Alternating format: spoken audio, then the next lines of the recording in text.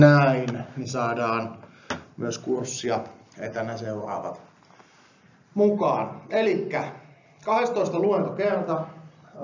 Ne, jotka tänään on vaivautunut paikalle, on todennäköisesti palauttanut projektityönsä viime viikon loppuna. Jos ette ole, niin no, mulla on teille uutisia, että olisi kannattanut katsoa sitä deadlinea tarkemmin, mutta lähdetään nyt siitä oletuksesta, että kaikki paikan päällä olijat on sen projektityön tehnyt. Eli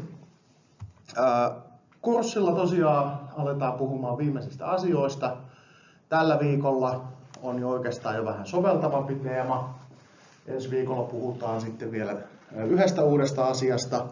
Ja viikolla 14 ei oikeastaan ole mitään muuta kuin käydään lyhyesti läpi se, että mitä kaikkea tällä kurssilla on tehty ja se, että mitä tuohon kurssitenttiin tullaan laittamaan.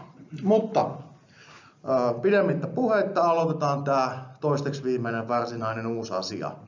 Tällä viikolla en luultavasti puhu puolitoista tuntia tästä aiheesta. Eli käytännössä ohjelman rakentaminen ja asiakas. Me on aikaisemmin puhuttu siitä, että miten me kerätään vaatimuksia, miten me tehdään vaatimusmäärittelyä, miten me johdetaan projektia, miten me testataan asioita, miten me hoidetaan ohjelmiston ylläpitoa, miten tehdään organisaation kehittämistäkin ehkä vähän se. Mutta yksi asia, mikä meiltä on vielä toistaiseksi jäänyt hyvin pienelle huomiolle, on se, että miten se oikeastaan se ohjelman rakentaminen tapahtuu. Tämä kurssihan nyt ei tietysti ole ohjelmointikurssi, eli me ei puututa siihen itse koodaamistyöhön, tai tämä ei ole testauskurssi, joten me ei puututa siihen itse testaamistyöhön sen tarkemmin. Mutta kuitenkin tämänkin kurssin puitteissa olisi hyvä ehkä ymmärtää se, että mikä on se, tai mitä siinä työvaiheessa tehdään, kun me ruvetaan tekemään sitä ohjelmaa. Sen lisäksi, kun me tehdään sitä ohjelmaa, niin miten esimerkiksi asiakas vaikuttaa siinä vaiheessa siihen tuotteeseen. Aikaisemminhan me tiedetään, että asiakkaalta me saadaan nämä niin kuin vaatimukset, jotain muuta informaatiota, mutta käytännössähän niillä asiakkailla saattaa olla rooli myös sen ohjelmistokehityksen aikana. Ja itse asiassa erilaisissa ohjelmistohankkeissa se asiakkaan roolikin saattaa vaihella hyvin merkittävästi. Et käytännössä kaiken kaikkiaan tällä luennolla puhutaan siitä, että mitä sitten tehdään, kun oikeasti on saatu suunnittelut ja määrittelyt valmiiksi. No, tähän liittyen meillä tosiaan on kaksi teemaa. Eli erilaiset, vähän puhutaan käytännön tilanteista. Eli jos teillä on iso nippu UML-suunnitelmia, vaatimusmäärittelyjä, ehkä joku prototyyppi, vähän käyttöliittymän tynkää muuta, niin sehän on erinomaista. Teillä on jo joku, mitä lähteä tekemään. Mutta jos teillä ei ole mitään muita kuin niitä kaavioita, vähän jotain suunnitelmia siitä, mitä se asiakas voisi tarvita tai miten tämä ohjelma saatettaisiin pystyä tekemään tai teiltä pyydetään tekemään teknisempi määritelmä.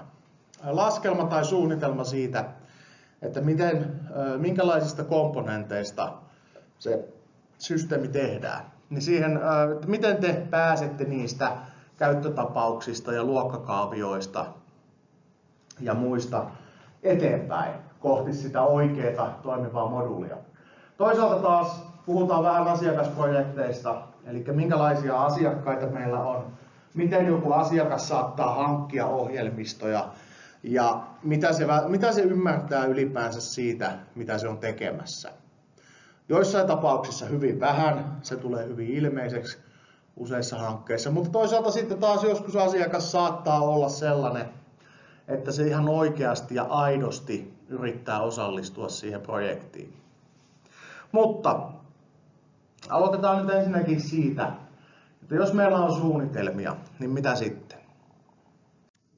Eli lähtökohtaisestihan kaikki, mitä me on tehty suunnitteluvaiheessa, määrittelyvaiheessa, etitty asiakassegmenttiä, tunnistettu asiakasryhmää tai sitä, että kuka maksaa, mistä maksaa ja miten paljon se olisi valmis sitä maksamaan, millä työvälineillä ja muuta, niin sillähän me ei varsinaisesti vielä saavuteta mitään muuta kuin se, että meillä on idea, joka voisi toimia tuotteena tai palveluna, kumpaa me nyt sitten ikinä tehdäänkään.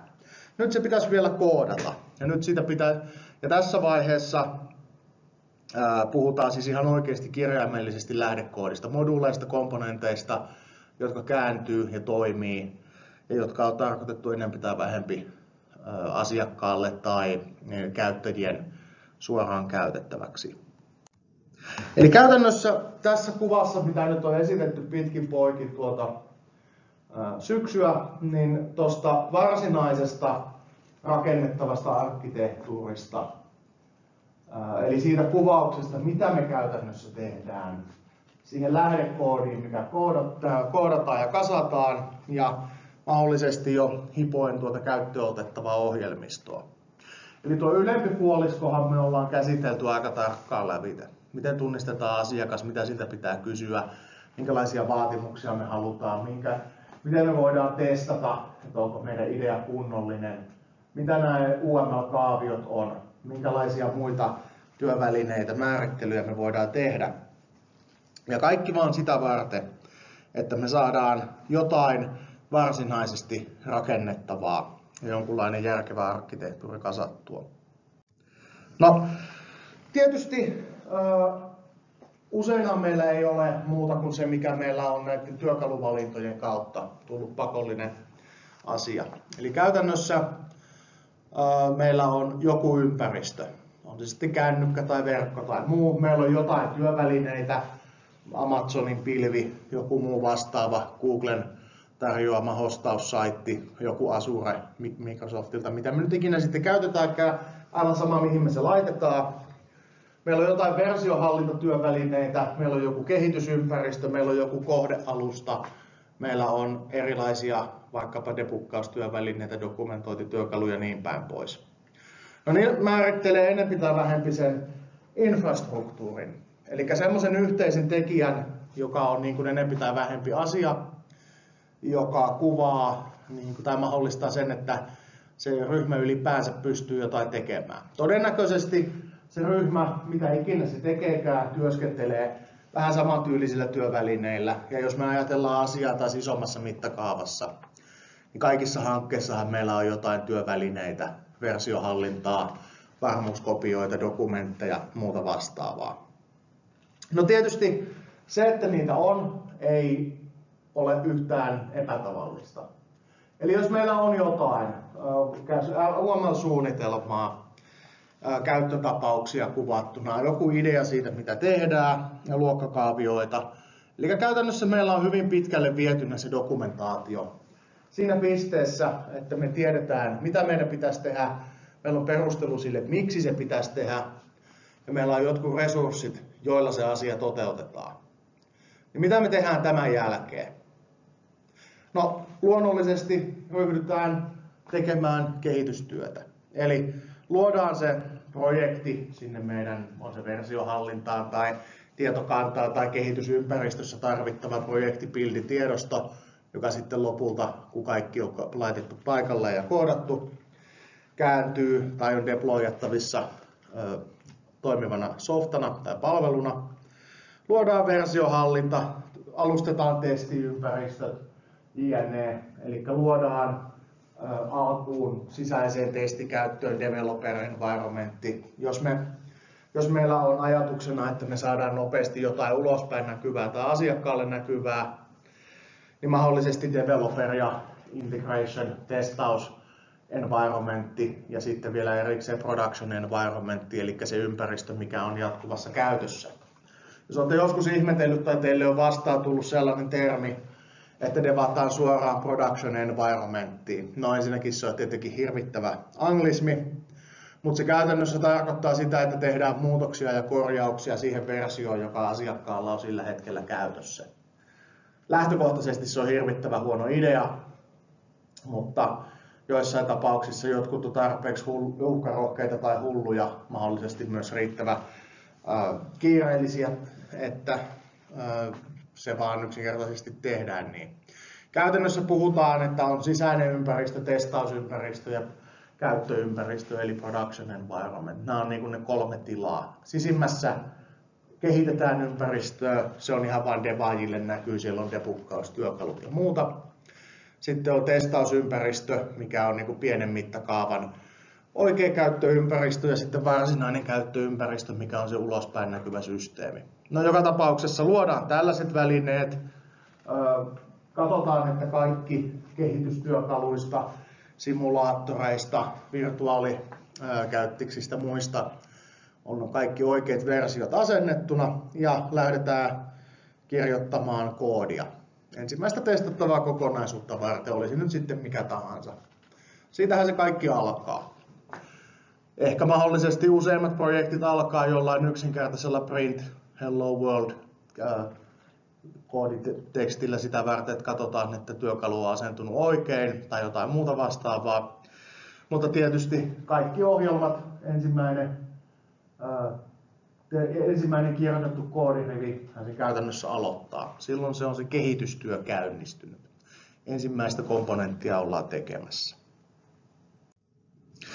Eli ajatuksena on kutakuinkin se, että päästäisiin tuollaisista yleisen tason suunnitelmista enempi tai vähempi tuommoiseen järjestelmään, joka sisältää kaikki komponentit, osat, kytkennät, rajapinnat, moduulit ja muut vastaavat kokonaisuudet. No tietysti siinä vaiheessa, kun meillä on kehitysympäristö ja työkalut asennettuna, meillä on joku julkaisuputki tai testausautomaatio tai continuous deployment putki testattuna, että kaikki toimii, niin me ei vielä olla kauhean pitkällä. Meillä itse asiassa ensimmäinen työvaihe varmastikin on miettiä se, että miten nämä testit, tämä use case, käyttötapaukset tai nämä luokkakaaviot muuttuu sitten lopullisen järjestelmän komponenteiksi. Yksinkertaisimmillaan nämä on ainoastaan jotain hierarkioita tai suunnitelmia siitä, että minkälaista dataa siellä on, minkälaisia asioita siellä on. Vastaavasti käyttötapaukset voi olla hyvin karkealla tavalla kuvattuja, painetaan nappia ja jotain tapahtuu.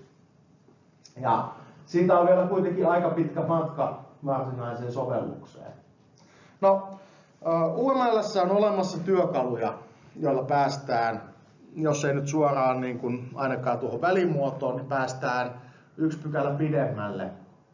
Tehdään tämmöinen niin kuin, boundary control entity analyysi, view model, toi, toi, mikä se nyt oli, view model controller, onko ne luokittelu, eli onko tämä komponentti sellainen, mikä liittyy käyttämiseen, vai sellainen komponentti, mikä liittyy sisäiseen logiikkaan, vai sellainen komponentti, mikä liittyy tiedonhallintaan. No, mutta mennään siihen hetken päästä tarkemmin katsomaan sitä asiaa lävitse.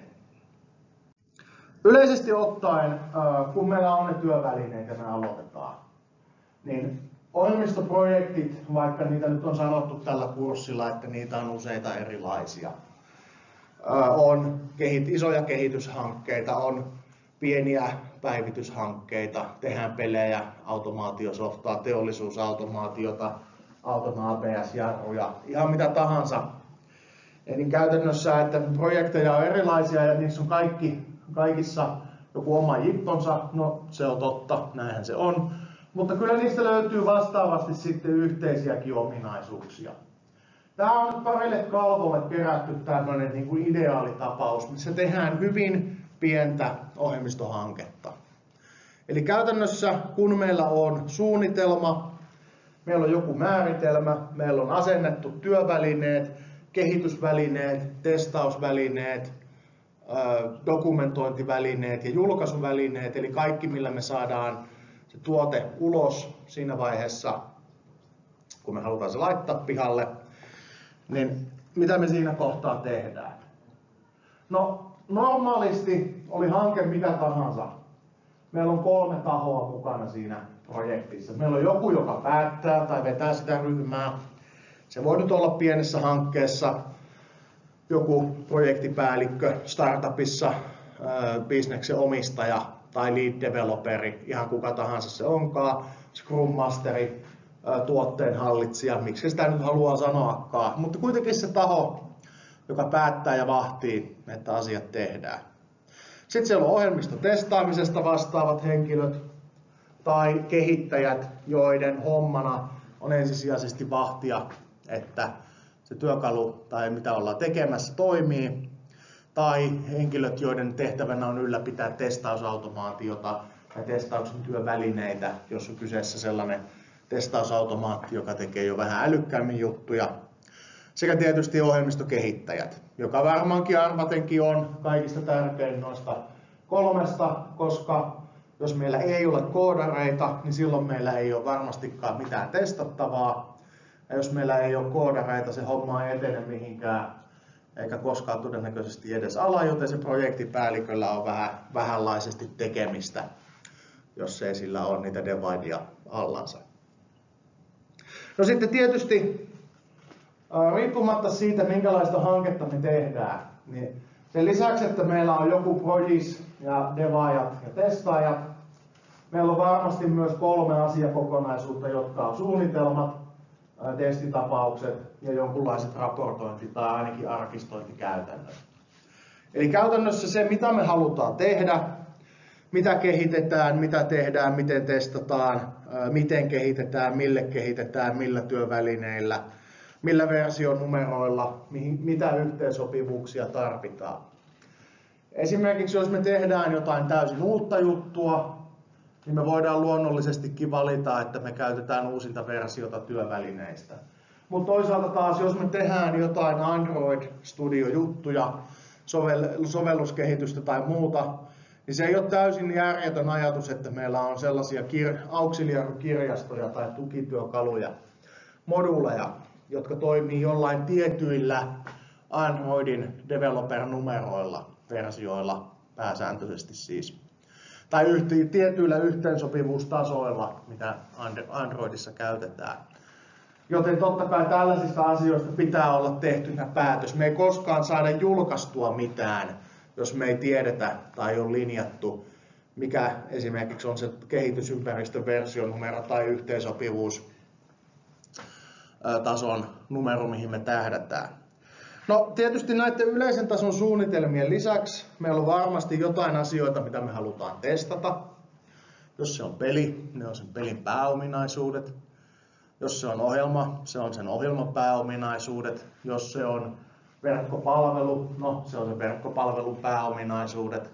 Eli käytännössä pääominaisuudet, käytettävyys, saavutettavuus, tallennettujen tietojen oikeellisuus, niin päin pois. Kaikki tällaiset asiat on varmasti juttuja, joita me halutaan tarkastaa. Olisi meidän projekti ihan mikä tahansa. Ja viimeisenä raportointi. Se saattaa kuulostaa siltä, että tämä nyt olisi asia, mitä varmasti puuttuu joistain organisaatioista. Mutta jos me tehdään kaupallista ohjelmistokehitystä, tai me tehdään jotain, millä me halutaan oikeasti tehdä rahaa, jotain, mitä me halutaan myydä asiakkaalle, niin silloin meidän pitää varmasti myös varautua siihen, että me joudutaan jatkokehittämään sitä. Me tehdään siihen patchi, me tehdään siihen laajennuspalikka, me laitetaan se jonnekin muualle saataville, me käytetään sitä ydinkomponenttina meidän seuraavaan tuotteeseen. Tehdään vähän software product line ajattelua ja julkaistaan jotain uutta, mikä käyttää samoja peruskomponentteja. Niin Aivan kuten jossain ohjelmoinnin kurssien harjoitustöissä, niin te teette sen, palautatte sen ja puoli vuotta myöhemmin, kun teille näytetään kolme samantyylistä koodia, niin te ette enää tunnista siitä, että mikä niistä on teidän. Tai muista enää omaa työtä tarkastelemalla välttämättä, että miten se tarkalleen ottaen toimii. Niin miettikää sama, mutta teollisessa mittakaavassa. Teette jotain ja sen jälkeen se, minkä piti olla pieni vikapäivitys, vähän räätälöidään juttuja, muutetaan hahmoja, muutetaan vähän logoja sinne tänne tuonne, luodaan uusi tietokanta sen sijaan, että myydään käytettyjä vaatteita, myydäänkin maatalouskoneita, niin päin pois.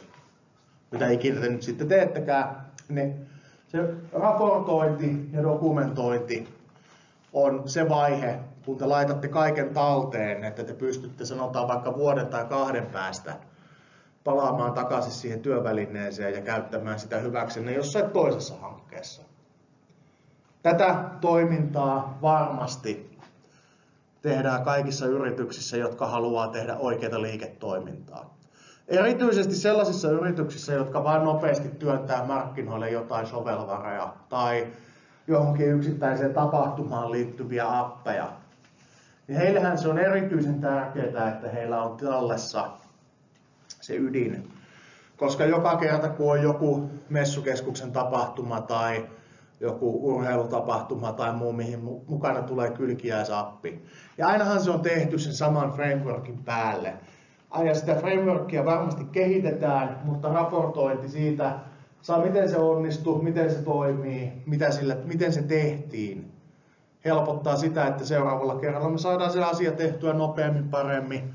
Tai jos me tiedetään, että joku asia on ongelma, defaultti, kuvakoko esimerkiksi on suurempi kuin keskimäärin Android, puhelimien näytön leveys tai jotain muuta älytöntä, niin varmastikin siitä kannattaa laittaa jonnekin tieto ylös jatkokehitystä varten. Okei, no tällä porukalla työt siis aloitetaan. Sen jälkeen seuraa tämmöinen, onko tässä nyt 13 vai 14 askeleen ohjelma, joka kutakuinkin tuottaa lopullisen työkalun. Nämä, osa näistä vaiheista on vähän hämäävästi iteratiivisia, osa näistä tehdään vain kerran, mutta pääsääntöisesti tällä reseptillä, mikä on tällä ja seuraavalla kalvolla, suurin osa ohjelmistohankkeista saataneen tehtyä. Eli käytännössä tietysti luodaan työsuunnitelma, alustetaan tai tehdään tarvittavat ympäristöalustukset, tehdään ensimmäiset tiketit suunnitelmien pohjalta, eli käytännössä ensimmäiset työtehtävät.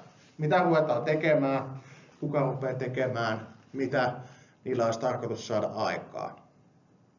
Okei, no tehdään ne komponentit, alustavia palikoita, Samaan aikaan tietysti kun ensimmäiset komponentit tai toiminnallisuudet luodaan, niin ne ohjelmistojen ne kehittäjät itse todennäköisesti tekee alustavan yksikkötestauksen. Tai jos eivät tee tai oikeastaan enemmänkin vaikka tekisivätkin, niin kirjaavat myös ylös sen, miten se palikan pitäisi toimia. Mihin se liittyy, mitä sillä tehdään. Ja käytännössä sitä mukaan kun niitä palikoita rupeaa valmistumaan, tehdään täydentäviä osia. Jos joku saadaan toimimaan, todetaan, todettua, että siellä on nyt alkaa toimimaan, siihen voidaan ruveta integroimaan kylkeen jotain seuraavaa palikkaa kiinni. Tai jos me saadaan yleisen tason käyttis kasalle, niin ruvetaan lisäämään nappeja, joiden takaa löytyy toiminnallisuuksia, mitä me nyt sitä ikinä lähdetäänkään rakentamaan. No joka tapauksessa, kun ne ensimmäiset komponentit on sisällä, niin sen mukaan, miten se lähtee toteutumaan, ruvetaan tekemään lisää täydentäviä osia. Tavallisesti projekteissa on dailyjä tai viiklyjä, ehkä jopa molempia. Ja nämä hyvin yllättäen daily tarkoittaa sitä, pidetään päivittäinen palaveri heti aamusta, maksimissaan 10 minuuttia. Käydään läpi sitä, että mitä tänään koitetaan tehdä, kuka tekee mitäkin, kuka vastaa mistäkin. Weekly yllättäen on sitten viikkopalaveri. Ja ei silleensä, että perjantaina istutaan viimeiset kaksi tuntia tuijottamassa seinään ja odotetaan, että pomo lopettaa puhumisen, vaan nimenomaan täysin päinvastoin maanantai-aamuna ehkäpä tai alkuviikosta katsotaan, mitä sen viikon aikana olisi tarkoitus saada kasalle. Koska kyseessä ei tosiaan ole tuomionjako, vaan ainoastaan tilaisuus, jonka tarkoituksena on huolehtia siitä, että kaikilla on jotain tekemistä ja kaikki suunnilleen tietää, kuka tekee mitäkin, jos tulee ongelmia ja niin päin pois. No, anyway, kun meillä on jotain, mikä rupeaa toimimaan, niin meillä ruvetaan varmasti tekemään testaamista. Meillä on testitapauksia, meillä on jotain toiminnallisuuksia, moduuleja, vähän tyn, testitynkiä, joilla saadaan joku osa puuttaamaan. Testaajat tai testaussyklissä työskentelevät katsoo, että se toimii, laittaa tikettiä sisään, jos ei toimi. Vastaavasti kehittäjät tekee joko lisää komponentteja, uusia palikoita tai vaihtoehtoisesti korjaa noita tehtyjä havaintoja, huomioita, vikoja aloittain kriittisimmistä ja riskialttiimmista osista. Ja tässä kohtaa tietysti tulee luonnollisesti kytkös siihen, että mitkä on riskialttiita osia, mitkä on niitä komponentteja, jotka on tunnistettu keskeisiksi, sellaisiksi, jotka pitää saada toimimaan kunnolla, mitkä viat tai mikä perustelu on kriittisen raja, mikä on vakava, mikä on showstopperi, mikä on pikkuongelma, mitä ei välttämättä edes korjata.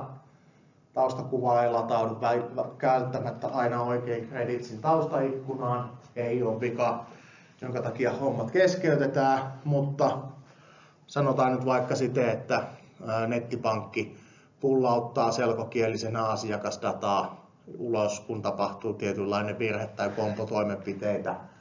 Todennäköisesti on jotain, mikä aiheuttaa sen showstopperin, että tätä te- korjataan niin pitkään, kunnes se menee pois. No anyway, riskikartoituksesta, kriittisimmistä komponenteista, se, että tunnistatte vaikkapa tällä function point analyysillä tai jollain muulla tavalla kaaviosta katsomalla ne kaikista vaativimmat komponentit, jotka pitää ensimmäisenä saada tehtyä. Että kun ne toimii, niin koko muu systeemi toimii. Niin totta kai siitä analyysistä arviosta on tässä kohtaa hyötyä. Ja tietysti sitä mukaan kun niitä komponentteja valmistuu, niin se integroidaan kokonaisuuteen. Jos joku ei toimi, siitä tehdään testitapaus tai mahdollisesti revisioidaan se komponentti. Eli käytännössä, miten, missä järjestyksessä komponentteja tehdään, no se on vähän makuasia. Itse aloittaisin tai tykkäisin nähdä, että se, että kriittisimmästä aloittaen on tietysti kaikista hyödyllisintä. Koska jos ne vaikeat palikat, kriittiset palikat saadaan toimimaan, niin kaiken muun tekeminen on vain bonusta. Toisaalta jotkut sanoo, tai joku toinen koulukunta on sitä mieltä, että aloitetaan yleisimmistä jostain käyttöliittymistä tai muista helpohkoista osista sen takia, että saadaan jotain, mikä lähtee käyntiin ja sen jälkeen saadaan se koko testausputki käynnistymään. Meillä on jo järjestelmä, jota testata, vaikkakaan siinä ei välttämättä ole vielä kunnollisia toiminnallisuuksia. No, samapa tuo siinä mielessä, että oli tapa mikä tahansa, niin joka tapauksessa sitä mukaan kun niitä komponentteja valmistuu, tehdään integrointitestausta. Integroinnin yhteydessä myös pikkuhiljaa ruvetaan luopumaan näistä testityngistä ja muista väliaikaisista purkkapatenteista, joilla se systeemi on saatu käyntiin. Sen takia, koska niitä oikeita komponentteja alkaa olemaan, joten niitä testikäytön aikaisia varaosia tai palikoita, jotka mahdollistaa ylipäänsä se ohjelman toimimisen, ei enää tarvita. No, tietysti kun kaikki on integroitu tai kaikesta on olemassa se versio 1.0 tai oikeastaan se ensimmäinen sisäinen alfa, kaikki toimii, päästään testaamaan systeemiä kokonaisuutena. Jälleen kerran kaikesta lappu ylös. Jos joku vika löytyy ja vaikka se korjataan saman tien, niin siitä todennäköisesti kannattaa tehdä dokumentaatio. Koska jos se sama vika ilmaantuu uudestaan, niin on joku idea siitä, mistä se idea, ongelma on alun perin tullut. Esimerkiksi tällaisessa ilmaisessa verkkopelissä kuin Zero AD, joka on itse asiassa, jota on käytetty, joka on jollain meidän kursseista harjoitusprojektina sen takia, koska se on semmoinen isohko, noin 500 megaa oleva Age of Empires 2 klooni. Niin siinä on semmoinen hämmentä, siinä esimerkiksi on tällainen ominaisuus, että villieläimet välillä päättää vain yksinkertaisesti ruveta leijumaan savanni yllä. Elefantti lentää jalat tönkköönä menemään. Se, että minkä takia näin tapahtuu, on se itse asiassa mielenkiintoista, koska, ää, koska, koska se on korjattu useampaan otteeseen, mutta ongelma todennäköisimmin liittyy animaatioajoihin ja muihin. Jos se animaatio on liian pitkä, siihen skeduleriin, mikä päivittää niiden hahmojen sijaintia, niin se animaatio ei ennätä koskaan käynnistymään, tai jos sulla on liikaa tavaraa kentällä, niin se ei yksinkertaisesti koskaan animoi mitään tapahtumia. Mutta tietysti ensimmäisen kerran, kun sä korjaat sen ongelman, että niin eläimet vaan lentää pitkin savannia eivätkä kävele, niin se todennäköisesti kertoo siitä, että mistä se vika on tullut, Joten kun sulla seuraava kerran on vastaava ongelma, niin sä voit sitten koittaa siitä ainakin lähteä liikkeelle. Että mikä vaikuttaa tähän palikkaan ja mistä tämä ongelma johtuu. No, joka tapauksessa tätä järjestelmätestausta sitten jatketaan. Tehdään ö, sisäistä alfaa. Saatetaan jossain vaiheessa kutsua joku asiakaskin mukaan. Ja kun kaikki merkitykselliset viat on korjattu ja tai resurssit alkaa loppua, oli se sitten aika tai raha, tavallisimmin tosin kyllä rahaa, kun puhutaan pienistä projekteista, niin siinä kohtaa siirrytään ihan suoraan hyväksymistestaukseen.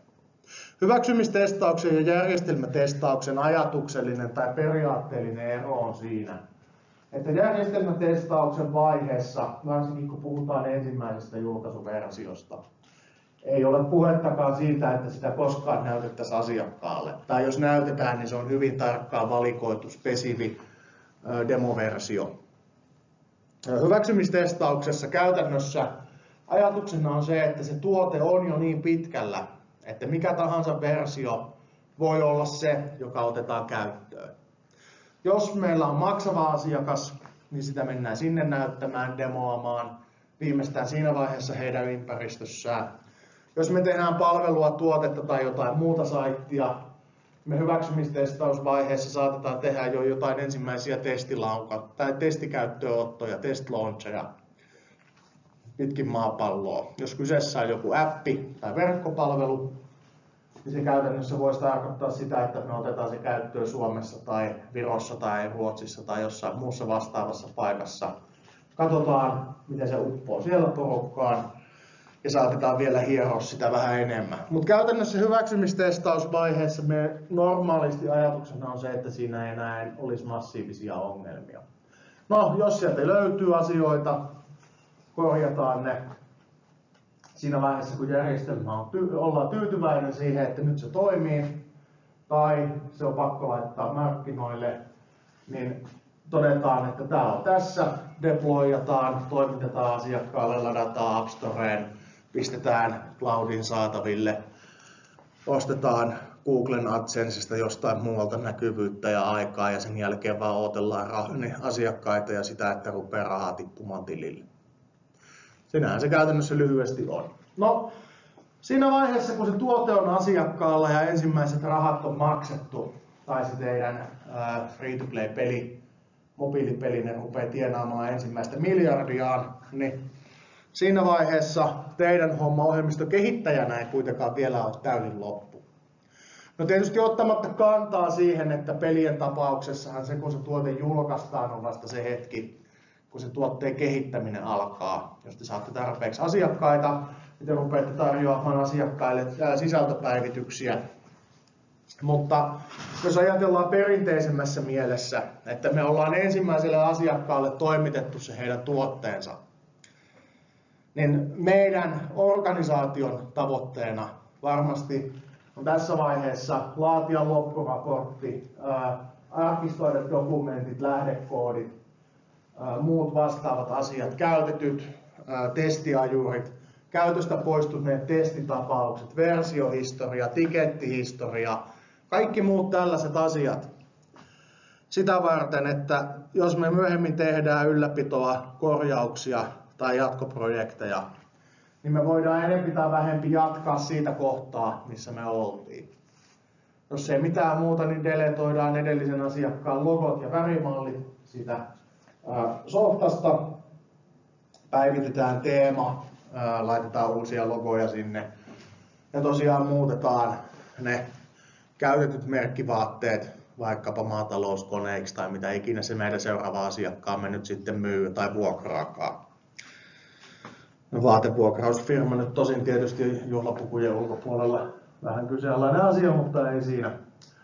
Ja tietysti kaikesta huolimatta jossain vaiheessa me julkaistaan päivityksiä, lisäyksiä tai korjauksia, niin se käytännössä tapahtuu aivan täsmälleen samalla tavalla kuin silloin, kun me tehtiin se ensimmäinen paketti. Meillä on joku suunnitelma, meillä on resurssointi, meillä on asiat, mitä meidän pitää testata, ja meillä on ne samat henkilöt, projis, kehittäjä ja testaaja. Tällä kertaa me vaan tehdään pienempi hanke, ja sen sijaan, että me aloitettaisiin siitä, että asennellaan näihin tietokoneisiin vähän Visual Studiota ja muita .NET Framework-työvälineitä tai muuta vastaavaa roipettaa, että saadaan homma käyntiin.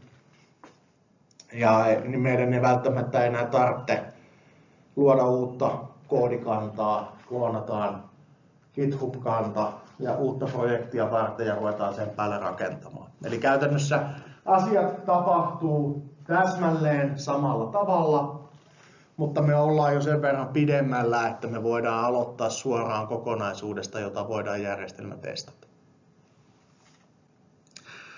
Okei, okay, no siinä on hyvin pienen projektin tai pienehkö projektin arki. Mä nyt voisin sanoa, että tämmöinen suoraviivainen 13 askelman ohjelma toimii aika hyvin pienissä organisaatioissa, sellaisissa putiikeissa, joissa on niin kuin suunnilleen se kymmenkunta ihmistä paikalla. Eli yksi kehitystiimi pääosin yhdessä paikassa, yhden projektin alaisuudessa kehittämässä yhtä asiaa. Sitten jos meillä ruvetaan puhumaan isommista hankkeista, missä meillä on eri saitteja eri mantereilla, tai meillä on mahdollisesti tilanne, missä halutaan käy hyödyntää maapallon pyörimisliikettä hyväksi siten, että meillä on Euroopassa, Jenkeissä ja Aasiassa kehitystiimit, että meillä on ylläpito, ASPA, asiakaspalvelu ja kehittäjät koko ajan jossain päin maailmaa duunissa. Niin siinä vaiheessa puhutaan tietysti sen verran isoista hankkeista, että tämmöinen lähestymistapa ei enää periaatteessa riitä. Käytännössähän siihen sitten tulee mukaan enempi dokumentaatiota ja kaikenlaista valvontaa ja seurantaa ja ohjausryhmätoimintaa ja ää, noita kehitysbrancheja, haarautumisia ja muita lokalisointeja, tällaisia. Mutta niin kuin yleisellä tasolla tämmöinen hanke kattaa aika ison osan ohjelmistokehitysprojekteista, missä te ikinä olettekaan. Se, millä työvälineillä, millä ympäristöllä ja millä tarkalla menetelmällä te sitä softaa teette, se sitten jonkun verran varmastikin vaihtelee putiikin mukaan. No, se ei tietysti ole ainoa lähestymistapa tai ainoa tapa hoitaa näitä asioita. Tällä luennolla nimenomaan on tarkoitus puhua siitä, että miten se suunnitelmasta koodiksi vaihe tehdään. Ja myös siitä, että miten se asiakas vaikuttaa ja asiakkaan tyyppi vaikuttaa siihen, että miten ohjelmaa kehitetään. Jos me ei olla niinkään tekemässä suoraa kehityshanketta tai lähes suoraan koodaamaan, voihan se olla, että pyydetään vaan tekemään tekninen suunnitelma, miettimään piirustuksia vähän pidemmälle tai tekemään joku alustava komponenttijako, että voidaan ruveta, voidaan tehdä kompleksisuuslaskelmat tai työmääräarviot tai jotain muuta vastaavaa.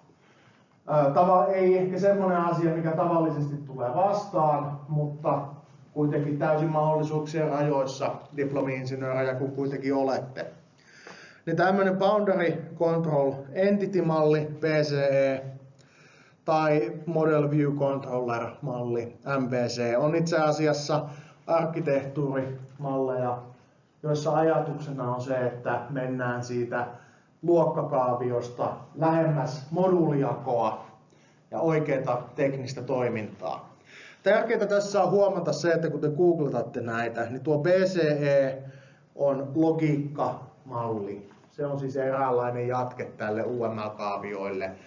MVC on ihan oikea ohjelmistoarkkitehtuuri. Sitä käytetään hyvin paljon verkkopalveluissa ja muissa vastaavissa.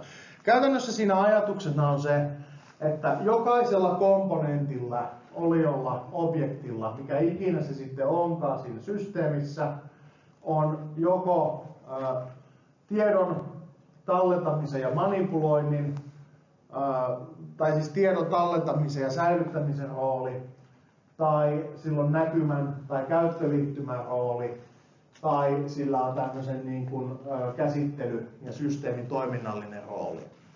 Eli se joko ottaa viestejä vastaan käyttäjältä tai toisesta järjestelmästä ja välittää niitä käyttäjälle tai toiseen järjestelmään. Tai se käyttää tietokantaa tai tallentaa asioita tietokantaa tai tekee datamuunnoksia tai hakuja, indeksointeja, mitä ikinä onkaan. Tai se on se laite, joka sisältää toimintalogiikan, tekoälyn, jonkun tekstin parsinnan, muuta vastaavaa. Ja jolloin se on joko control-objekti, boundary-objekti tai entity-objekti. No käytännössä näillä kaikilla on pieniä eroja, mutta käydään näitä nyt vähän kuitenkin lävitse. Tämä ei ehkä suoranaisesti vielä ole tämän kurssin asia, mutta antaa teille jonkunlaisen idean siitä, mihin suuntaan tämä niin kuin teknisempi arkkitehtuurisuunnittelu lähtee. Eli käytännössä BCE-analyysillä voidaan lähteä siitä liikkeelle, että kenen kanssa sen systeemin pitäisi viestiä, mitä tietoa sen systeemin pitäisi pitää sisällään, mitä rajapintoja siellä on ja mitä tietoa siirretään. Hyvin pitkälti samoja asioita kuin luokkakaavioissa. Sen takia, että nimenomaan tehdään useimmiten just luokkakaavion päälle tai sen pohjalta. Eli ruvetaan ihan siis kylmästi raakka, raakkaamaan näitä ominaisuuksia, käydään läpi ja laitetaan palikat paikalleen. Sen jälkeen mietitään, että miten se käytännössä toteutetaan sillä teknisellä järjestelmällä, muutetaan tiketeiksi ja tehdään eteenpäin. No tässä on pari englanninkielistä kalvoa, koska tämä on suomenkielinen kurssi, niin en, en nyt käytä tähän ihan hirveästi aikaa, mutta katsotaan nopeasti, mitä nämä PC ja E oliot tai objektit oikeastaan ylipäänsä on. Eli käytännössä meillä on siis kolme asiaa. Meillä on kolme erilaista komponenttityyppiä. Ja jokainen komponentti, joka siihen teknisempään määrittelyyn tulee, on joko entity, control tai boundary tyyppinen komponentti. Se mitä se käytännössä sitten tekee, ratkaistaan siinä itse koodaamisvaiheessa, mutta meillä on kolmen tyylisiä komponentteja. Tietoa tallentavia, järjestelmää pyörittäviä tai käyttöliittymänä tai rajapintana toimivia komponentteja. Ja niistä ensimmäinen rajapinta voi hyvinkin yksinkertaisesti kuvata, että no tässä meillä on käyttöliittymä, ikkunointi, selaimen, se ikkuna, näkymämäärittely, mitä nappeja meillä on, mitä kenttiä meillä on. Vaikkapa nyt verkkosivustolla HTML5 formi tai se pääkäyttöliittymä. Mihin kohtaan tulee aktiiviset elementit, mihin kohtaan tulee staattiset elementit, mihin kohtaan ladataan jostain toisesta järjestelmästä asioita, vaikkapa Googlen AdSensesta tai vastaavasta palvelusta heitetään tähän kohtaan komponentteja. Vastaavasti, jos me tehdään ohjelmaa tai tehdään jotain vaikka peliä tai muuta, niin tämä voi hyvinkin olla käyttöliittymä siihen varsinaiseen tuotteeseen. Tämä voi olla se rajapinta, minkä yli kommunikoidaan vaikkapa maksutietoja johonkin maksuvälityspalveluun tai haetaan jonkun niin kuin cross-reference ringin tietoja jostain toisesta palvelusta, eli mainostetaan toista peliä toisessa pelissä, tai muita vastaavia juttuja. Se, mitä se boundary-objekti tai luokka tekee, oi tarkalleen, riippuu kontekstista, mutta, se, no, mutta käytännössä se on joko käyttöliittymä tai kahden eri järjestelmän välinen rajapinta. Kaikki viestit tulee ja menee boundaryn kautta. No, kontrollipalikka on sitten se äly siinä systeemissä. Kontrollipalikka on vanhastaan se osa, mikä sisältää kompleksiset algoritmit, laskukirjastot, muuntotyövälineet, lukee sensoreiden kohinaa. Jos sensori on se rajapinta, mikä mittaa vaikka ympäristön lämpötilaa ja kosteutta, niin toi kontrolliluokka on se työväline, joka lukee, pollaa niitä sensoreita ja niistä päättelee, onko se huone tulessa vai veden alla sen mukaan, mitä se ne kosteustiedot tai lämpötilan tiedot kertoo. Eli käytännössä se on niin palikka, mikä huolehtii siitä, että kompleksiset asiat tehdään täällä. jos se on joku hakukone tai neuroverkko tai mikä tahansa muu väline, niin se voidaan esittää yhtenä komponenttina. Se lukee tietoja datavarastosta, se ottaa syötteitä rajapinnasta ja se omassa päässään laskeskelee lopputuloksen. Se on enempi tai vähempi sen ajatus. Ongelmana tässä tietysti on se, että onko tällainen palikka ylipäänsä tarpeellinen. Jos meillä ei ole mitään monimutkaisia ominaisuuksia, niin me voidaan ihan hyvin sisällyttää nämä toiminnat joko käyttöliittymärajapinnan tai sen tiedon tallennusrajapinnan päähän. Mutta siltä varalta, että meillä nyt on tilanne, missä tämä ei oikein sovi dataa pyörittelevään päähän, tietokantoja käyttäviin komponentteihin, eikä tai tietovarastoja käyttäviin komponentteihin eikä käyttöliittymäkomponentteihin, niin tällaisia ohjaus- ja hallintakomponentteja voidaan määritellä, että täällä tehdään se monimutkainen laskenta. Nämä on sellaisia orakkeleita, että näille, näiltä kysytään jotain ja annetaan informaatiota ja ne päänsä sisällä tekee sen lopputuloksen. Jos me mietitään tämän olio- tai komponenttisuunnittelun tavoitetta, kohesiota ja kytkeytyneisyyttä, niin nimenomaan tässä kohtaahan se tulee keskeisesti esille. Jos meillä on huono tekoäly, joka on suljettu yhteen komponenttikokonaisuuteen, niin me vaan vaihdetaan, uudelleen kirjoitetaan se tekoäly tai vaihdetaan se uuteen, niin meillä asioiden pitäisi edelleen tapahtua niin kuin aina en, ennenkin, paitsi että se tekoäly osaa tällä kertaa pelata järkevämmin vaikkapa nyt yksinkertaisesti jotain sakkia tai muuta vastaavaa. Tai jos meillä on joku äh, hinnoittelu- tai luokittelurobotti tai vaikkapa hahmon tunnistuksen tekoäly, joka tunnistaa, onko kuvassa kissa, koira vai hevonen, niin se, sitä mukaan kun me saadaan paranneltua tekoälyä, niin se järjestelmän tarkkuus paranee. Tietenkin tällaisten kokonaisuuksien kannattaa ehdottomasti olla omina komponentteinaan, koska ei se varmaan siinä kamerassa tai kamerasta kuvan lukevassa palikassa kannata vielä olla. Se menee kuvan käsittely, muun läpi, heitetään sille tekoälylle katsottavaksi. Tekoäly ottaa kuvan ja toteaa, että tässä on hevonen ja tallentaa se hevosille kuuluvaan kuvapankkiin ja sitten me myöhemmin testausvaiheessa voidaan katsoa, että ymmärtikö se yhtään mitään asioista.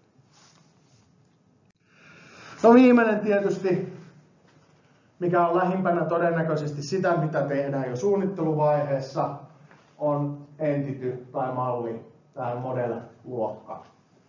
Se on komponentti, joka on olemassa sitä varten, että se tallentaa tätä tietoa, tätä informaatiota, näitä transaktioita, eli käytännössä on se sitten laskutustietokanta tai asiakastietokanta tai joku datagrammi, missä kuvataan pelaajan omistamien ja rakentamien hahmojen sijainnit, ominaisuudet ja muut vastaavat jutut. Sillä ei ole mitään merkitystä. Ne on komponentteja, valikoita, jotka pyörittää ja tallentaa vain ja ainoastaan sitä informaatiota, mitä niihin on tarkoitus sisällyttää. No, tietysti nämä huolehtii myös siitä, että se tieto saadaan tehokkaasti, se tieto saadaan nopeasti, se on tallennettu jollain optimoidulla tavalla, muuta vastaavaa. Sitä voidaan myös käsitellä siten, että se on automaattisesti lennosta filtteröity. Ja vaikkapa esimerkiksi joku hakuominaisuuden toteuttaminen palauta kaikki transaktiot kerralla. Onko se sitten tällä puolella vai kontrollipalikassa on vähän makuasia mutta käytännössä se on jo pidemmälle vietyä suunnittelua. Ja tuossa vielä jotain ideaa siitä, miten nuo komponentit voi kytkeytyä toisiinsa. Eli kaikki aktorit, toimijat menee kiinni boundary-palikkaan, boundary-palikka voi mennä kiinni kontrollipalikkaan, kontrollipalikka voi olla kiinni missä tahansa ja kaikki eh, noin noin noin entityt, eli tietokantapalikat, voi olla kiinni ainoastaan kontrollipalikossa, koska ne sisältää tietoa ja kontrollipalikat tai moduulit ää, operoi sillä tiedolla. No tietysti hyvä kysymys, mitä tällä saavutetaan? Eli käytännössä se, että me otetaan luokkakaavioita, piirretään uusi kaavio, missä on vähän erinäköisiä kaavioita tai erinäköisiä palloja. Mitä hyötyä siitä yleisesti ottaen on? No lähtökohtaisesti ajatuksena on se, että siinä enempi tai vähempi pyritään menemään kohti teknistä toteutusta. Eli siitä kohtaa, kun me ruvetaan tekemään niitä varsinaisia moduuleja, koodaamaan sen järjestelmän osia, jos me on tehty tekninen suunnitelma tai me on saatu tekninen luokkakaavio, piirus, piirustus, luonnos, miksi sitä nyt haluaa sanoakaan, auki tällaisella työtavalla tai jollain simppelimmällä tavalla, niin totta kai tämä helpottaa sitä toimintaa tai helpottaa toiminnan aloittamista siten, että meillä on jo joku idea siitä, mikä palikka vastaa mistäkin, mitä ominaisuuksia, kokonaisuuksia liittyy yhteen komponenttiin. Eli jos me nyt aloitetaan tekemään jotain, niin me suunnilleen tiedetään, mitä tähän palikkaan pitää tehdä, että me voidaan se sanoa, että sen ensimmäinen versio on olemassa. Käytännössä no, komponenttien vastuualueet, rajapinnat, välitettävät tiedot, näkyvyydet, kohesio, kytkeytyminen luokkien, olioiden välillä, niin päin pois. Eli enemmän tai vähempi semmoinen alustava lista ominaisuuksista, joista päästään luomaan se työlista ensimmäisistä toteutettavista komponenteista. Jos se on vaikka kriittisimmät ensin, monimutkaisemmat ensin, that's fine. Jos se on käyttöliittymät, boundaryt ensin, ja sen jälkeen rakennellaan jotain toiminnallisuuksia sen mukaan, mikä sattuu, mitä satutaan saamaan aikaisiksi, that's fine also. Mutta joka tapauksessa ää, jonkunlainen työmääräarvio tai kompleksisuusarvio tai rakenteellinen arvio siitä, mitä, minkä näköinen siitä, työväline, siitä tuotteesta tulee ja minkä verran työtä missäkin palikassa on. Ja tosiaan sen verran kannattaa huomata, että tietysti useimmitenhan tämä perustuu samantyyliseen ajatteluun, mutta se on sitten ammattiosaamista, ammattitaitoa tai jotain valmista pohjaa hyödyntäen, miten, siinä, miten sen työ päästään aloittamaan. Ihan täysin tyhjästä aloittaminen on hieman poik- välillä hieman poikkeuksellista.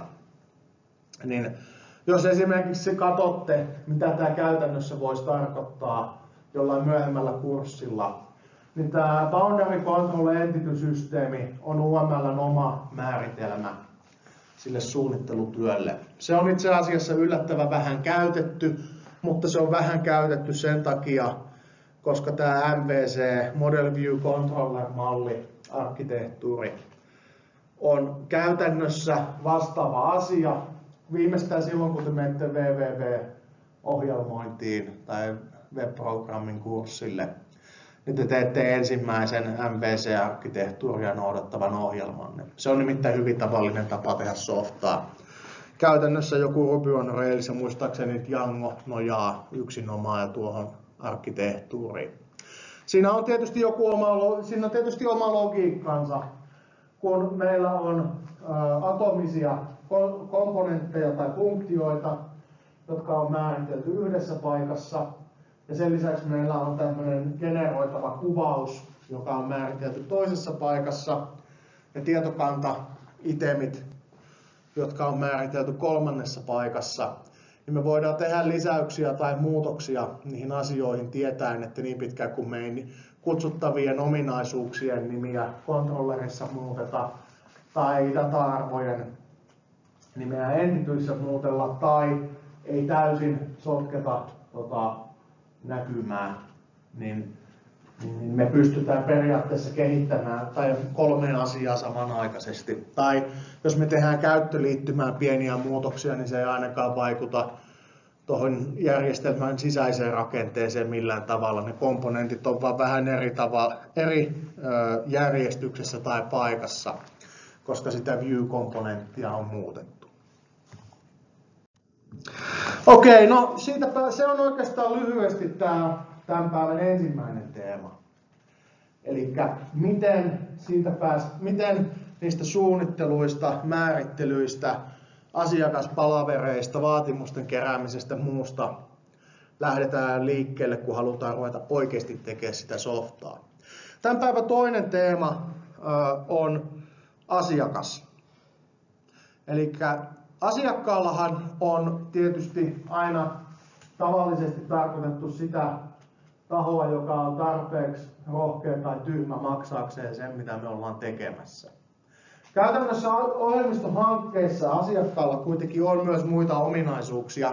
Ja itse asiassa, varsinkin jos te olette tilaajan tai sen asiakkaan roolissa, niin se mitä te voitte tehdä saattaa, tai minkälaisia eri hankkeita hanketyyppejä kannattaa käyttää, saattaa tietysti hieman vaihdella sen mukaan, mitä teidän organisaationne osaa tehdä. Ja vaikka te olisitte maailman kovin koodari ja superturbo-ammattilainen ja te olette joku asiakkaalla tai ulkoisella taholla teetätettävän projektin kontaktihenkilö teidän yrityksessänne, niin asiat saattaa siitä huolimatta mennä pieleen. Yksinkertaisesti sen takia, koska sitä teidän osallistumistanne tai teidän inputtia ei ole hyödynnetty millään tavalla tai sitä ei ole osattu hyödyntää millään tavalla tai muita vastaavia juttuja. Eli sen takia tämän 12 luennon jälkimmäinen osuus käytetään siihen, että puhutaan hienoisesti siitä, mikä se asiakas oikeastaan on. Myös silloin, kun se asiakas ei ole aina pelkästään väärässä tai ei siitä ristiriitaisia vaatimuksia, vaan osaisi oikeasti myös tehdä jotain. No, tietysti tästähän me on puhuttu ennenkin. Asiakkaalla on jonkunlainen tietty rooli. Se, se vaikuttaa katselmoinneissa, jos sellaisia pidetään. Hyvä, hyväksymisprosessissa, kun toivon mukaan sellainen pidetään. Resurssoinneista päättämisessä ja vaatimusmäärittelyssä. Tähän se perinteisesti on se asiakkaan rooli. Ja, jos me on, ja itse asiassa sitten, jos me tutkitaan ihan tutkimustiedon pohjalta sitä, että mikä on historiallisesti tai perinteisesti ollut se, mitä asiakas tekee, niin se on joko vaatimusmäärittelyvaiheessa kertomassa, mitä se haluaa, tai hyväksymistestausvaiheessa ottamassa vastaan sen, mitä saatiin uunista ulos. Käytännössä se on aikaisemmin ollut kaksi tapaa, joilla asiakas osallistuu. Ja on se varmaan edelleenkin hyvin tavallinen tapa tehdä asioita, mutta se ei kuitenkaan tarkoita sitä, että se olisi ainoa tapa, miten tehdään. Jännittävää tässä on se, että nykyään esimerkiksi Agilen ketterien ohjelmistokehitysmallien peruspiirteitä on se, että kuunnellaan asiakasta. Otetaan asiakas osaksi ohjelmistoprojektia ja samaan aikaan, kun kysytään ohjelmistofirmoilta, että mitäs, mitäs mieltä te olette siitä, että asiakas ottaa teihin yhteyttä, tai haluaa tulla testaamaan teidän välineitä tai antaa välipalautetta, niin no useimmiten vastaus on aikaisemmin ainakin ollut, että me lyödään sille luuri korvaan, koska emme haluta, että se tulee tänne sekoilemaan. Eli käytännössä samaan aikaan, kun ketterät menetelmät haluaisi korostaa sitä, asiakas on mukana sitä varten, että hommat saadaan kerralla menemään oikein, niin käytännössä asiakas voidaan jopa kokea häiriötekijäksi, jos se haluaa osallistua. Tähän ei tietysti voi olla näin. No, aikaisemmassa kalvossa puhuttiin myös siitä, että asiakasta, jos ei kuunnella tai kuunnella väärää asiakasta, tai ei tiedetä kuka asiakas on tai ymmärretään sitä väärin, ja hommahan meni vihkoon välittömästi. Tietysti se, että asiakas haluaa osallistua, tunkee mukaan kertomaan mielipiteitä tai toimimaan niin kuin useimmissa elokuvissa. Aina kaikki valtiopäämiehet ja muut toimii, palkkaa asiantuntijoita ja sen jälkeen väittää niitä vastaan koko loppuelokuvan ajan niin asiakkaalla on semmoinen ikävä tapa, että jos se asiakas ei osaa käyttäytyä, niin tietenkään se ei silloin myöskään edesauta se projektin onnistumista. Mutta, jos taas, mutta asiakkaalla kuitenkin on se viime käden tieto siitä, mitä se haluaa.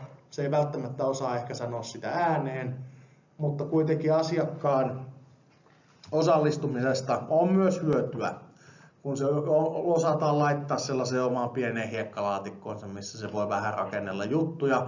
Ja sitten jos paljastuu, että se ei ole ihan täys idiootti, niin sen jälkeen sille voidaan antaa jotain muitakin vastuuta tai mahdollisuus osallistua. No, ongelmat tavallisesti ei ole teknisiä. Jos tavallisesti projekteissa ongelmat on sisäisessä kommunikoinnissa, ihmisten johtamisessa muussa, niin varsinkin siinä vaiheessa, kun asiakas otetaan mukaan toimintoihin tai asiakkaan edustajalta tulee joku testaaja, käyttöliittymäsuunnittelija, muu vastaava henkilö, niin ei se varmasti ainakaan helpota toimintaa. Mutta käytännössä jo pelkästään sisäisissä organisaatioissa tavallisimmat ongelmat liittyy kommunikointiin ja johtamiseen ja projektihallintaan. Siitä, että kaikki tietää, kuka tekee mitäkin, kuka vastaa mistäkin. Ja useimmiten näissä agileissa hankkeissa se asiakkaan osallistuminen ja osallistaminen ei tietysti poikkea tästä juuri lainkaan. Eli se on kommunikointia edelleen. Tällä kertaa sitä saattaa tosin hidastaa se, että koska kyseessä ei ole saman organisaation edustaja, niin jos projektina lähtee menemään huonoon suuntaan, niin kyseessä saat, saattaa tulla tilanteita, missä maksavan asiakkaan edustajalle ei voida sanoa jotain tai haluta sanoa jotain, että he eivät ole tietoisia siitä, miten pahasti pielessä asiat todellisuudessa on. No tietysti se on sitten teidän omaa tyylitajuanne, haluatteko te olla siinä organisaatiossa tai se henkilö, joka valehtelee päin naamaa maksavalle asiakkaalle, että hyvin meillä menee ja kahden viikon päästä teidän putiikki on ulosmittauksessa, mutta se on kuitenkin rajatapaus tässä suhteessa. No, äh, asiakkaan kanssa kommunikointi ja asiakkaan kuunteleminen on kuitenkin niin kuin merkittävä tekijä. Ja kuten normaaleissa ongelmissa, kaikki on enempi tai vähempi kiinni käytännöistä ja siitä, miten te haluatte toimia. Tässä on esimerkiksi tulos, missä selviteltiin kolme tällaista suurikokoista ohjelmistohanketta. Kaikki oli enempi tai vähempi verkkopalveluita tai verkko-ohjelmistoja, jotka liitty suureen suomalaiseen firmaan, ja kaikissa näissä yhdistävän tekijänä oli se, että asiakkaalla oli merkittävä rooli siinä ohjelmistokehityksessä. Tarkoittaa siis sitä, että asiakkaalta oli jokaiseen hankkeeseen nimetty kaksi, kolme, ehkä neljäkin henkilöä. Pieni tiimi ihmisiä, jotka osallistuivat organisesti yhtenä osaryhmänä sen ohjelmistohankkeen toteuttamiseen. Eivät välttämättä istuneet siellä devaajan kehittäjän tiloissa. Mutta osallistu kaikkiin palavereihin, oli pääsy repositoryyn, saattavat testata käyttöliittymäprototyyppejä, tehdä jopa siis niin kuin ihan vakavamielistä osallistuvaa toimintaa. Niin käytännössä näissä tapauksissa kaikki nämä kolme hanketta lopulta onnistu vaihtelevalla menestyksellä. Ja käytiin läpi sitä, että mitkä oli ne sen asiakkaan osallistumiseen vaikuttavat keskeisimmät ongelmat. No, me jälleen kerran törmättiin siihen samaan ongelmaan, mikä aina ohjelmistohankkeisiin liittyy, eli viestintä, kommunikointi eri tahojen välillä. Siihen liittyen dokumentointikäytännöt, siihen liittyen työn läpinäkyvyys, joka siis tässä tapauksessa tarkoittaa juuri sitä, että haluaako se ohjelmistokehittäjä kertoa niille asiakasfirman tai teidän putiikista osallistuville tahoille totuuden vai kauniin totuuden vai virallisen totuuden. Useimmitenhan virallinen totuus ja oikea totuus on kaksi täysin eri asiaa mutta virallinen totuus on se, mikä on kaikkien kannalta kaikista hyödyllisin ja helpoin tapa selittää jonkun asian olemassaolo tai sen puuttuminen. No, joka tapauksessa asiakkaan osallistumisessa viestintä, käytetyt kehitystyökalut ja se, että hän päästetäänkö, lasketaanko henkilö käsiksi kaikkeen tarvittavaa informaatiota, puhutaanko hänelle totta vai annetaanko kaunisteltu kuva yllättäen oli tavallisimmat tekijät, jotka vaikutti näissä hankkeissa siihen, että miten hyvin se asiakas pääsi työskentelemään se putiikin kanssa. Sen lisäksi tietysti työkalut, miten viestitään, millä viestitään netissä, livenä, onko Skype-palaverit pakollisia, onko meillä käytössä joku Slack, johon voi tiputella viestejä ja vastailla milloin sattuu huvittamaan, niin päin pois. On kaikki tietysti asioita, jotka vaikuttaa siihen, että miten hyvin sä pystyt osallistumaan.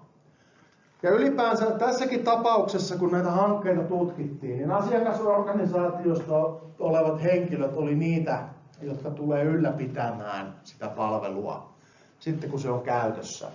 Mahdollisesti jopa tekemään pieniä jatkokehitysprojekteja sille työvälineelle itsenäisesti omassa putiikissaan, joten ei voida puhua siitä, etteikö tällaisella asiakkaalla olisi ollut kompetenssia, osaamista osallistua. Mutta itse asiassa viimeinen tekijä, mikä huomattiin, oli se, että no aikataulujen sovittaminen yhteen oli merkittävä ongelma. Asiat, nämä henkilöt, jotka yritti tehdä ohjelmistokehitysyhteistyötä, ei yksinkertaisesti välttämättä pystyneet osallistumaan kaikkiin daileihin tai weekleihin tai muihin tapaamisiin. Yksinkertaisesti sen takia, koska heillä oli omat dailit ja omat weeklit samaan aikaan. Kun kaikki käyttää yhtä hyväksi havaittua toimivaa kikkaa, niin siitä toisin sanoen tarkoittaa sen, että sä et ikinä voi osallistua yhteen palaveriin jättäytymättä pois toisesta. Ja toisaalta tässä yhden projektin tapauksessa ongelmana oli se, että kehittäjä ei osannut käyttää sitä kehystyökalua, frameworkia, mille sitä softaa tehtiin. Eikä sillä ollut mahdollisuutta oman toisen työnsä puitteissa opetella käyttämään niitä työvälineitä. Joten se henkilö kyllä osallistuu ohjelmistokehittäjänä hankkeeseen, mutta se osallistui sellaisena ohjelmistokehittäjänä, joka ei loppujen lopuksi pystynyt tekemään mitään muuta kuin kyllä ei tasolla sanomaan, onko joku hyvännäköinen juttu vai ei. No tietysti asiakkaanhan ei aina tarvitse olla se, joka osallistuu siihen hankkeeseen tiukasti. Joskus voidaan olla tilanteessa, missä vaan löydään rahat tiskiin ja sanotaan, että tee mulle jotain. Sehän on tietysti tosi kiva tilanne sen takia, koska silloin meidän ei tarvitse nakata paskaakaan siitä, että onnistuuko se hanke sisäisesti vai ei. Me on maksettu jotain ja me odotetaan, että me saadaan lopputulos. Toisaalta tietysti käytännöllisemmällä tasolla se tarkoittaa sitä, että jos me ostetaan jotain, niin meidän ei tarvitse omasta takaa hankkia kuin ylläpito siihen palveluun. Mutta kuten noissakin aikaisemmissa ketterän kehityksen hankkeissa huomioitiin, niin vaikka meillä on se henkilö, mikä tulee ylläpitämään sitä työkalua jo olemassa, niin jos ei se ymmärrä yhtään mitään siitä teknisestä ympäristöstä, niin se saattaa aiheuttaa vaikeuksia ensinnäkin tähän selvitystyön tekemiseen, räätälöintityön tekemiseen ja ylipäänsä siihen, että saadaanko tämä ylläpitokaa kunnolla toimimaan. Käytännössä se, että jos me teetätetään softa jollakulla, niin silloinhan meidän ei muuta tarvitse kuin valita toimittaja. Jos meillä on rahaa niin kuin näillä valtio- ja kunnan organisaatioilla tavallisesti, niin me valitaan toimittaja huolimatta siitä, että meillä ei olisikaan varaa sitä tehdä, mutta se nyt on sitten taas täysin eri asia. Jos me ollaan joku niin kuin yritys tai putiikki, joka, jolla on sisäistä kompetenssia, niin totta kai meidän silloin kannattaa se softa tehdä itse. Mutta tietysti tässäkin tapauksessa kannattaa miettiä, että jos ei se ole meidän ydinliiketoimintaa, se sen asian tekeminen, minkä ihmeen takia me käytettäisiin aikaa tai rahaa tähän hankkeeseen. Tämä alkaa kuulostamaan vaarallisen paljon kauppatieteeltä, mutta tällä nyt kuitenkin on ihan selkeä pointti, että jos meidän bisneksenä on myydä jotain vaikka verkko palveluja tai verkon yli rakentaa sellainen kauppa- ja huutokauppapaikka, minkä kautta ihmiset myy no ihan mitä haluavat, vaikkapa joku huutonetti tai tori.fi tai vastaava kilpailija niille. Niin meille ei varmaankaan kannata sitä ylläpitotiimiä laittaa kehittelemään jotain mainoksen lisäämissoftaa tai mainoksen lisäämispalikkaa siihen meidän verkkosivulle, jos me voidaan ostaa semmoinen valmiiksi jostakin tai voidaan tehdä tässä jossain muualla. Minkä takia me yrityksen, joka myy käytännössä nettinäkyvyyttä tai tarjoaa oikein pitkälle vietyä nettikirpputoria niin minkä takia se yhtäkkiä rupesi päätoimisesti kehittämään verkkosivuja ja palveluita. Koska viimeistään siinä vaiheessa, kun se projekti on tehty, ne henkilöt istuu siellä kämmeniensä päällä ja pyörivät työtuolilla, kun niillä ei ole mitään muuta tekemistä ja sen jälkeen niille pitäisi joko löytää jotain tai pistää ne pihalle. Vastaava ongelma on jo useammassa muussa paikassa. Eli käytännössä tietysti, jos te pyöritätte software-firmaa tai pyöritätte jotain omaa putiikkia tai vastaatte ylipäänsä tietohallintohommista tai kehityshankkeista tai muista, niin vaikka se tässä tänään istuen kuulostaa vähän hassulta, että kuitenkin joudutte miettimään asiaa myös lompakon kautta. Kannattaako meidän oikeasti tehdä itse? Kyllähän se on itse tehtynä saa sellaisen kuin tulee. Tosin mä itse en haluaisi asua olla edes sellaisessa rakennuksessa sisällä, jonka mä oon itse tehnyt sen takia, koska siitä ei tule yhtään mitään siitä hommasta. Mä kuitenkin sain, äh, sain tuosta mikä se on, lintupöntöstäkin puukäsitöissä arvosanan hyväksytty asteikolla 0 tai 40 Että rupeappa siinä sitten saatana omakotitaloa rakentamaan. Ihan sama idea, mutta softa puolella. No joka tapauksessa, jos te ostatte räätälöityjä juttuja, niin tietysti te olette isompi putiikki muuta, niin siinä on myös muita välivaiheita. Te saatatte esimerkiksi haluta teetättää pelkästään etukäteismäärittelyn. Teillä on jonkunlainen idea siitä, mitä te voisitte ehkä haluta. Tai että teillä on idea jostain uudesta tuotteesta, jonka te voisitte haluta laittaa myyntiin. Ja te saatatte haluta tehdä sille pelkän määrittely- tai räätälöintiprojekti. Eli ensin katsotaan, no, tuleeko tästä mitään, tilaatte prototyypin, ja jos se prototyyppi toimii tai määrittely toimii, niin sen jälkeen tilaatte uudestaan toisen tarjouskilpailun jälkeen se varsinaisen tuotteen. Eli käytännössä se, mitä tässä nyt koitetaan korostaa, on se, että vaikka kaikki tuotteet ei välttämättä aina mene niin kuin loppuun asti, päätyyn asti, ne ei jää käyttöön, niin se kuitenkaan ei tarkoita sitä, että esimerkiksi tänään esitelty tuommoinen tekninen suunnitelma, määrittely, joka sisältää sen, että minkälainen softa tehdään, mille alustalle, mitä komponentteja siihen tulee, miten työläs se on tehdä, miten paljon siihen voidaan laskea, että siihen tulee, tullaan tarvitsemaan työaikaa, muuta. On itse asiassa kahteen suuntaan keskeinen juttu. Ensinnäkin, jos te olette se putiikki, joka myy ihmisiä näihin softahankkeisiin tai myytte osaamista yritykselle, niin teidän varmaan kannattaisi pystyä arvioimaan, sanotaanko nyt ehkä satojen työtuntien tarkkuudella, jonkun palikan tekeminen, että se teidän toimintanne on koskaan kannattavaa. Vastaavasti, jos te olette taas se asiakaspuolen organisaatio, niin kyllähän se nyt hävettää varmasti itteennekin, jos te koetatte tilata joku kahden kuukauden mittaisen projektin, josta tulee semmoinen kuolemanmarssi ikuisuuteen, kestää monta vuotta ja niin päin pois. Jos olette esimerkiksi seurannut viime vuosina valtion tai hallinnon IT-hankkeiden noita lopputulemia, kestoja tai hintalappuja tai apottijärjestelmää, niin siitä hyvin saatte mielikuvan siitä, mitä tapahtuu, kun laitetaan poliitikot ja ohjelmistotuotannosta mitään ymmärtämättömät ihmiset suunnittelemaan asioita, yhteistyössä sellaisten yritysten kanssa, joiden ainoana tavoitteena on veijottaa siltä putiikilta tarpeeksi paljon rahaa.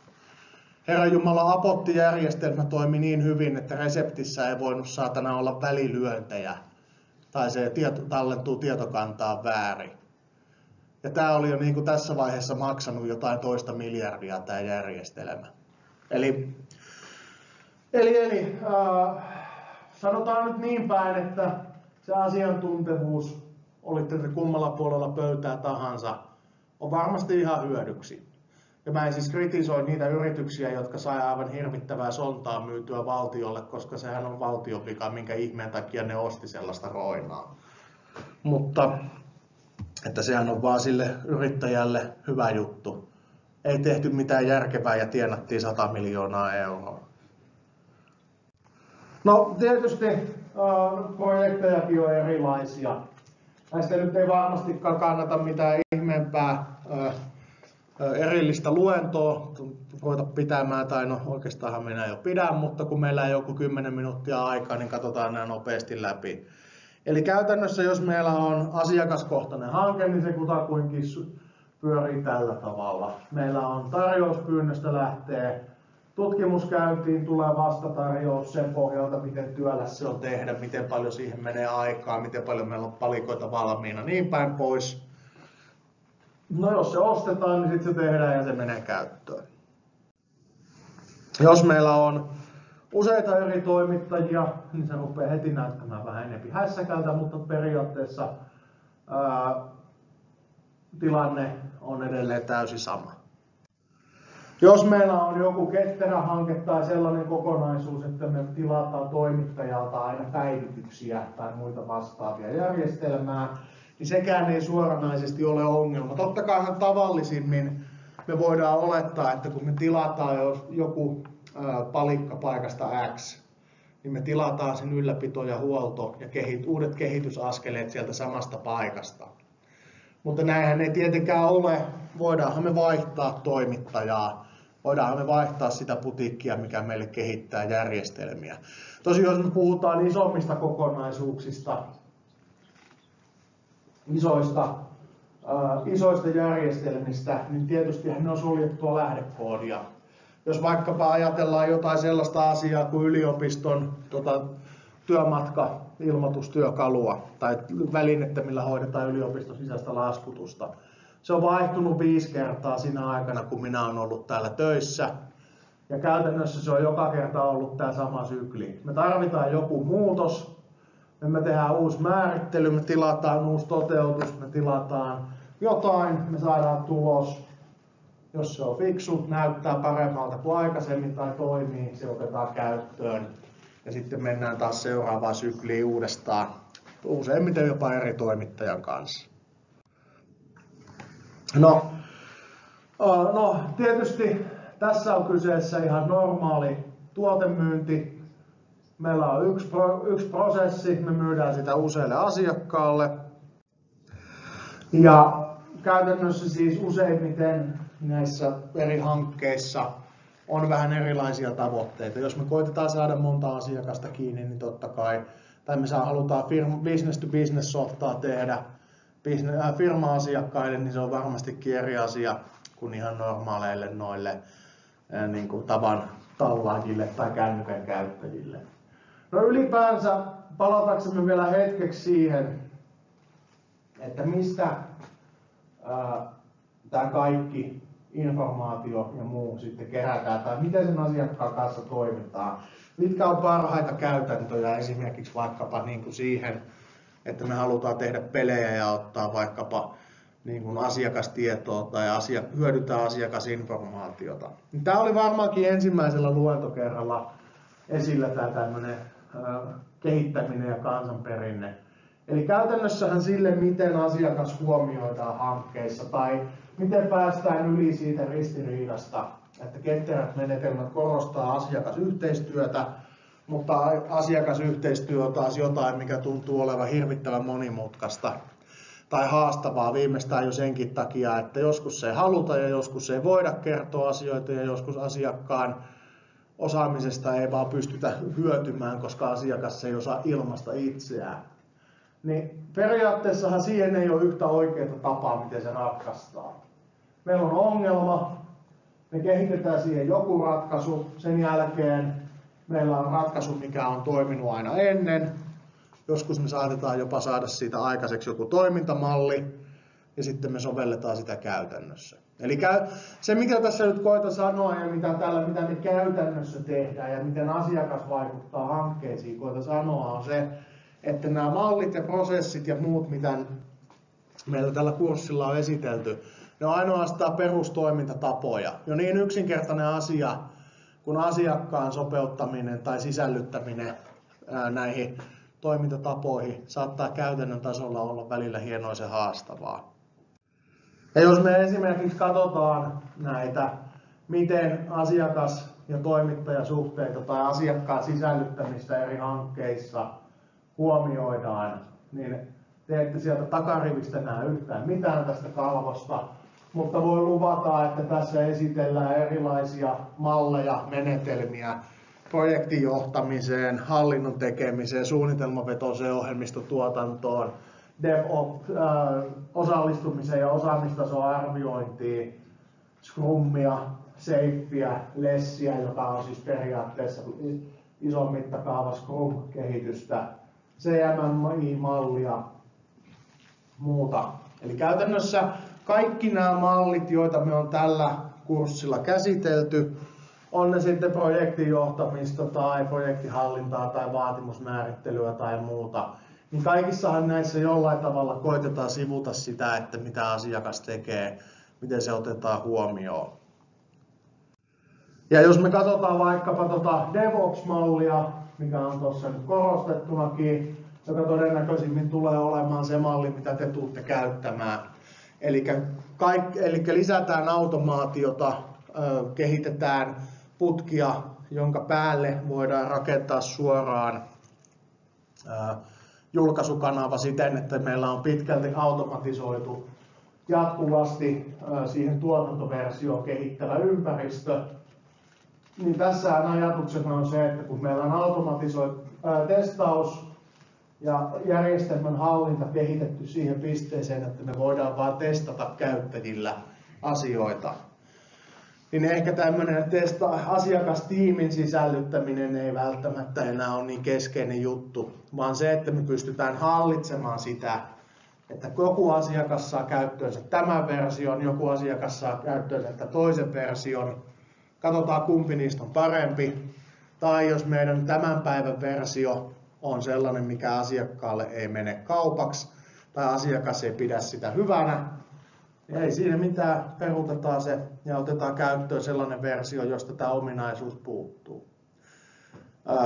Te saatatte ehkä olla jo sen verran nuorempaa sukupolvea, että te ette muista sitä, kun Nokia esimerkiksi aikanaan kokeili kaikenlaisia teknologisia innovaatioita teknologisesti. Kannattaako kännykkää sisällyttää radiota, kannattaako siihen laittaa kameraa, kannattaako siihen laittaa taskulampua, pistetäänkö numerot vanhan rotaatiopuhelimen mukaan niin kuin ympyrän muotoon vai näppäimistön muotoon, onko fyysistä näppäimistöä vai ei ja niin päin pois. Niin käytännössä sehän oli prototyypeillä testaamista. Suomen markkinoilla ihmisille annettiin hassuja luureja ja katsotaan mitkä menee kaupaksi. Käytännössä nykyaikana, kun meillä on jatkuva kehityksen ja käyttöönoton malleja, me tehdään sitä ihan samaa, mutta ohjelmistotuotteilla. Ja tosiaan DevOps ja sen erikoisempi versio GitOps, joka on siis rakennettu versiohallintajärjestelmän ympärille.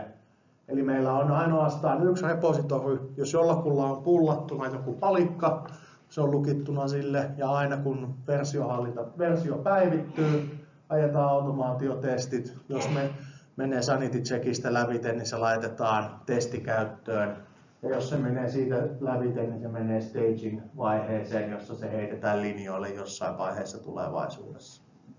Eli käytännössä pitkälti automatisoituna toiminta siten, että asiakkaalta ei enää erikseen tarvitse kysyä juttuja, vaan asiakas pääsee kokeilemaan toimivaa versiota ja jos se se miellytä silmää, niin sitten keksitään jotain muuta. Jees, se siitä setistä. No oltiinhan me taas täällä täysaika, valehtelin, sori siitä. Ensi viikolla viimeiset uudet asiat. Puhutaan hienosesti muista ohjelmistotekniikan ja insinööritieteiden ominaisuuksista, mitkä liittyy siihen, että mikä pitää teidät pois vikavastuista, velvollisuuksista, koppihoidosta, muusta vastaavasta. Eli puhutaan ohjelmistotekniikasta lainsäädännöllisen tämmöisen niin kuin, eettisten ja ylipäänsä ammatillisten osaamisvaatimusten kautta. Eli käytännössä mitä teidän pitäisi osata tai ymmärtää tehdä, tai mistä te ainakin voitte lukea, että mitä teidän pitäisi osata tai väittää ymmärtävänne, jos te olette täysiä sosiopaatteja, ettekä pysty käsittelemään ihmisten tunteita. Mutta siitä puhutaan ensi viikolla. Tällä kertaa tämä oli tässä ja hyvää päivän jatkoa kaikille.